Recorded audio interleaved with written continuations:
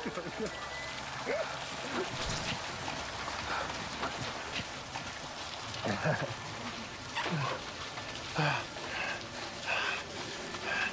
guy you fucked in the pool. What? Was it good? What? This sucks. What do you want to know, Nate? You want to know if his dick was bigger?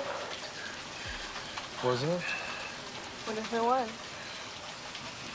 Pretty fucking fun. yeah, but dead or alive, it has bigger dick than you.